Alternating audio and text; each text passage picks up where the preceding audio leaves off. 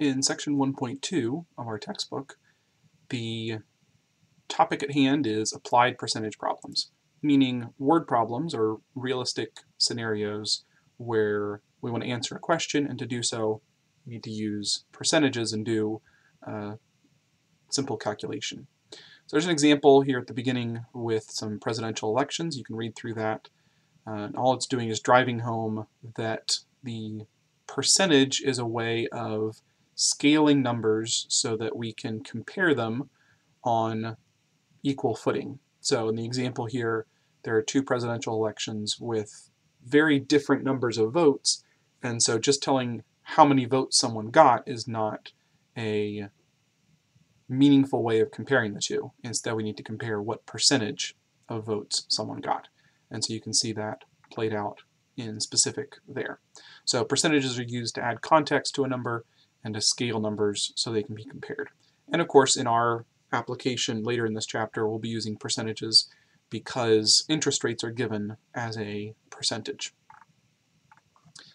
You can read some more on other ways to use percentage to scale numbers, but the core of the section is this type of problem that we're going to solve here, word problems with percentages. And I give you three examples here, just to introduce the idea. What is 20% of 275? 18 is what percentage of 54? and 12 is 45.3% of what. And the reason I set these up is because if you can solve these three problems, every other problem in the rest of the section will match one of these three. So if you can solve these three, you can solve anything. Now if you look carefully at this, what you can see is that there's a structure to this where you have three parts to each of these. You have something is some percentage of something else and that's true for all three cases. Something is some percentage of something else. So there's three numbers that we can use. The first number is some percentage of the second number. So there's the two numbers and the percentage. Because of that, there's three types of problems we can ask. One where each of them is unknown, and that's what you see here. Here in the first problem, the first number is unknown, and then we have is a known percentage of a known number. And then the second example, the percentage is unknown, and the last example, the second number is unknown. So the general form here I give you is A is P percent of B, so we use P for the percentage, and then A and B for the two numbers that we're comparing. And as long as we can solve these three, we can solve anything in this section. So we just need to solve for the missing piece.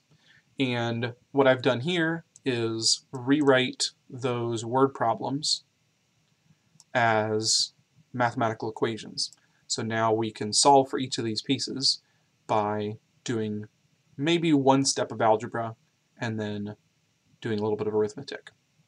So for example, in the first case, if we wanted to solve for the first number, we would just need to multiply 20% by 275. Now to do that, we'll have to remember to convert 20% to a decimal and then multiply. And then for the other two examples, we'll have to do one step of algebra where we divide both sides. In order to get p by itself, for instance, we need to divide off this 54 so that it's not being multiplied by p. So we divide that out to get p by itself. And then in the last example, we would divide this percentage to get b by itself.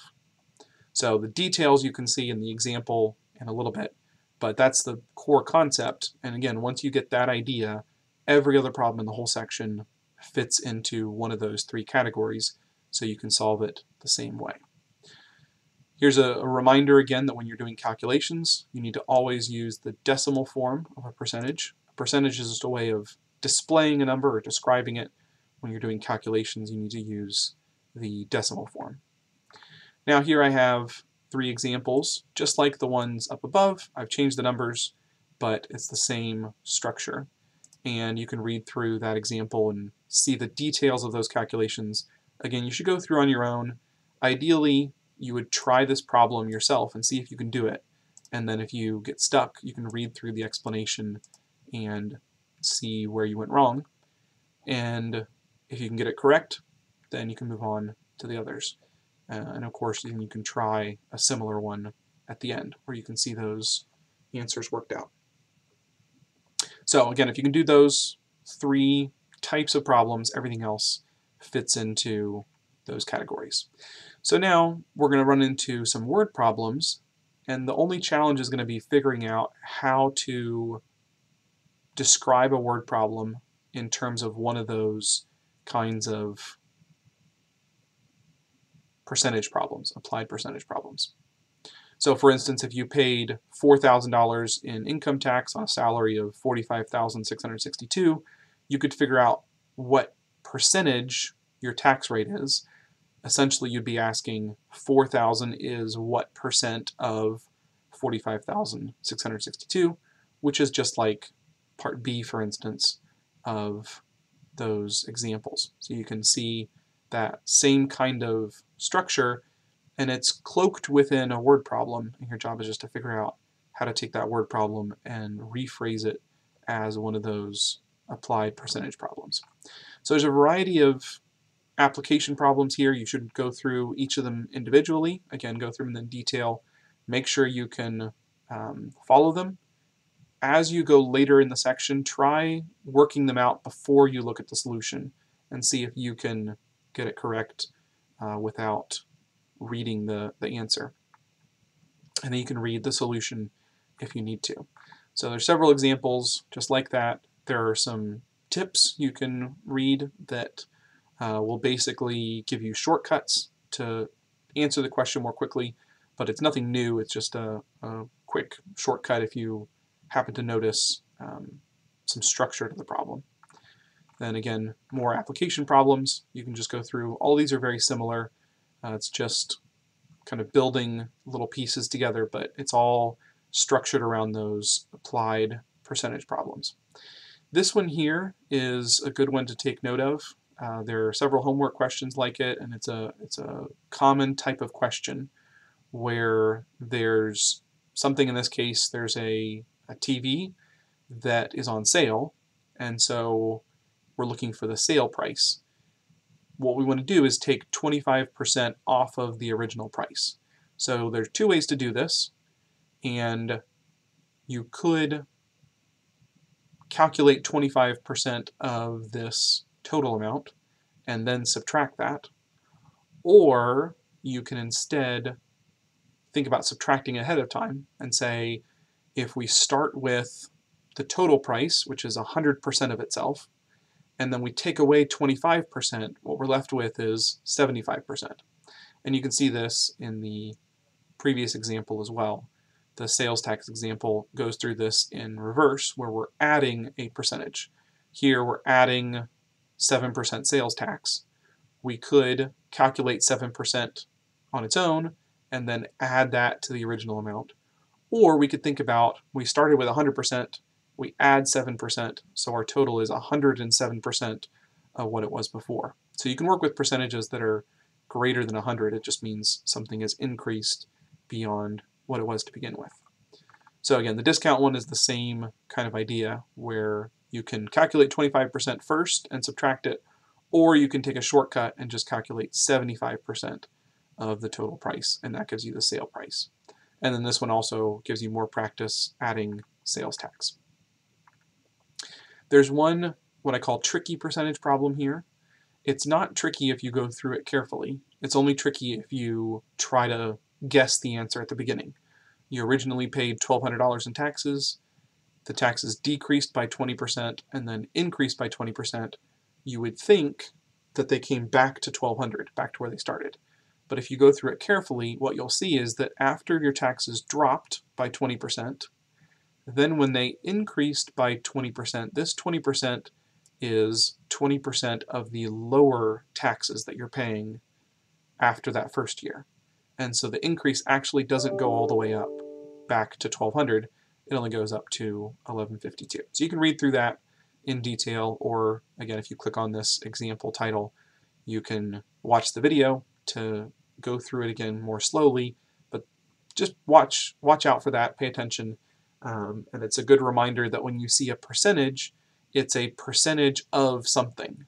So here when we see decreased by 20%, it decreased by 20% of 1200. When it increased by 20%, it increased by 20% of 960. So the increase would be smaller than the decrease was. So just watch out for that and think carefully about uh, what a percentage relates to. Then lastly, there's a section on percentage increase and decrease, percentage change in general, and you can read through this. Really, there's nothing new here. It's just kind of a shortcut um, to take the applied percentage problems from earlier and kind of rephrase them a little bit. So change is given as the percentage of the original amount. That's the important piece to pay attention to. And then I give you a formula here for percentage change. Really, it's nothing new other than the um, applied percentage question.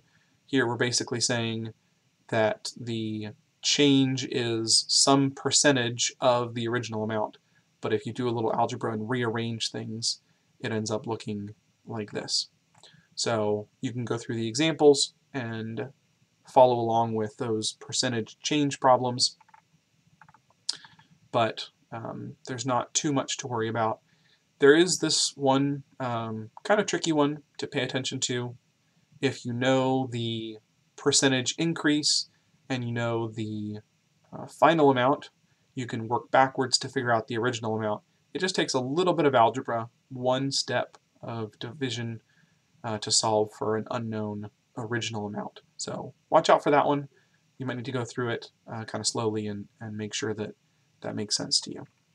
And with that, that kind of brings us to the end of section 1.2. The core concept is those applied percentage problems back here at the beginning of the section. The rest of the section is mostly just details, examples, some little subtle things to watch out for, and then that idea of percentage change is kind of its own type of problem, but really it, it fits within this context. It's just one way that you'll see problems phrased every now and again. So that wraps up section 1.2 on applied percentage problems.